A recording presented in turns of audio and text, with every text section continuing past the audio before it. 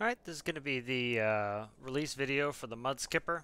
Uh, Mudskipper is an amphibious truck that um, is for a current challenge. The challenge is there's a lighthouse keeper who lives over here at Olsen Bay. Uh, they need to be able to drive from their house at Olsen Bay down the beach into the water. They need to be able to traverse the water and then get over to the lighthouse here on the lighthouse island, drive up and all the way up to the lighthouse. So we're going to go ahead and uh, do a little tour of the Mudskipper. So we'll start um, on the exterior here. So um, you have side pipes. Um, it's kind of based on uh, kind of like an 80s, you know, like Bronco, um, some of the amphibious vehicles. It's it's an open top, kind of like a, it's a fun little, uh, you know, kind of like a Jeep vehicle. Um, we have a door handle here. We have some uh, first aid kits on the door. Uh, we have a refueling uh, anchor right there to refuel it. Um, if we jump inside, as you can see, we have uh, seating for four in the back, fire extinguisher, another first aid kit, fire extinguisher and first aid kit. Um, we'll go over the lighting when we get it started. We have a light cord and a pintle, so we, uh, we can attach it to a trailer. I'll uh, add the trailer in as a, an add-on. Um, also, I, I, need to add the um, the handle for the door on this side. We have some nav lights, some uh, blinkers. Uh, go ahead and jump in. Alright, so jumping in here, we, um, we're going to start by um, do engine start stop. Engine will come on. We have headlights here, so let's go to, um, we'll wait till we get outside, but have headlights. Uh, headlights will also turn on a red light that kind of illuminates the cockpit so that it's bright enough in here. RPM, engine temperature, we have a digital speedometer. We have nav lights and spotlights. Uh, reverse, uh, release parking brake, fuel, and hazards. So let's uh, go ahead and we will release the parking brake and we'll go outside. So it's just WSAD.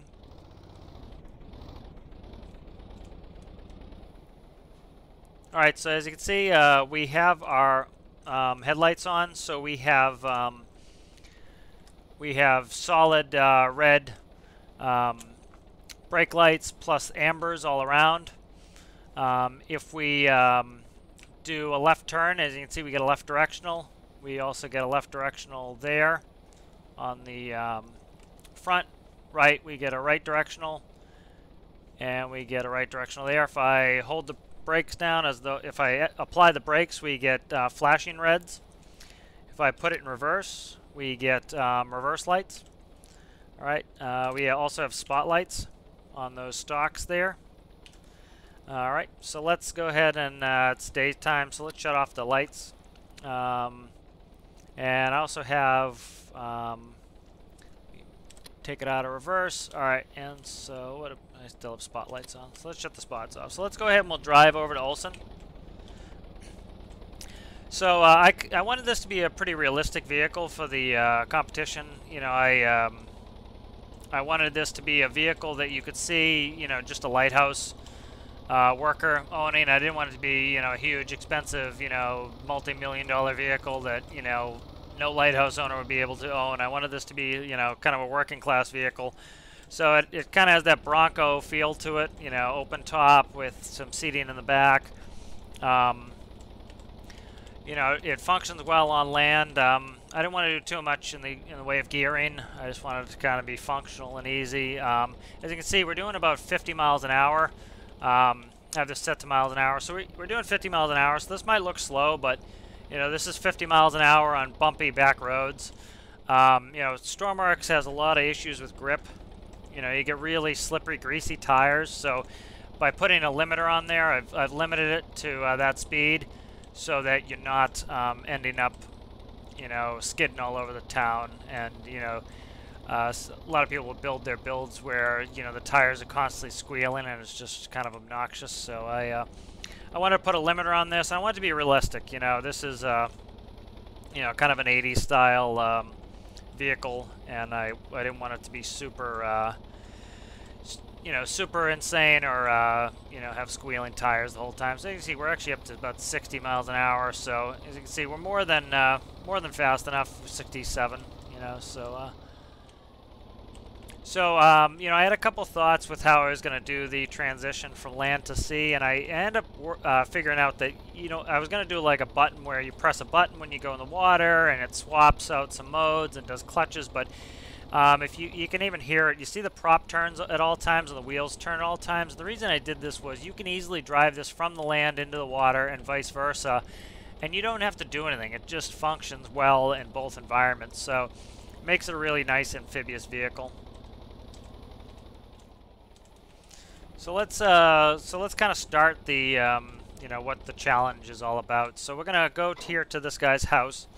So we'll say this last uh, this last house is his, and so he's gonna get up and he's gonna want to go to uh, work in the morning. So let's go ahead and we'll go in the water. So we're just gonna drive it down. I recommend you don't go in the water too hot. That prop is always turning. Um, as soon as that prop gets a bite in the water, sometimes it wants to really uh, you know kind of flip you. So it's nice to just kind of take it really nice and easy into the water like so. And as you see, we're in. So let's go ahead and let's turn on our nav lights. So if we look around, you can see we have red, white, and green. And now let's just start driving. So it's still WSA and D. Um, it does have a stability system, so once you get moving in here, it'll keep it nice and flat.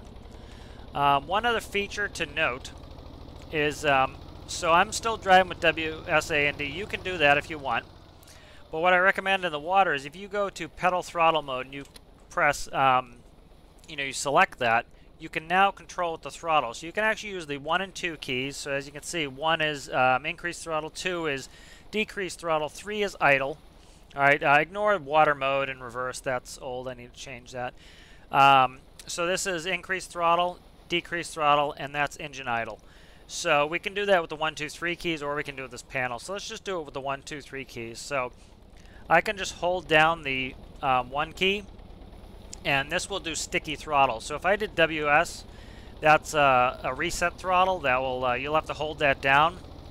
If you do the one and two keys, you can set the throttle to where you want.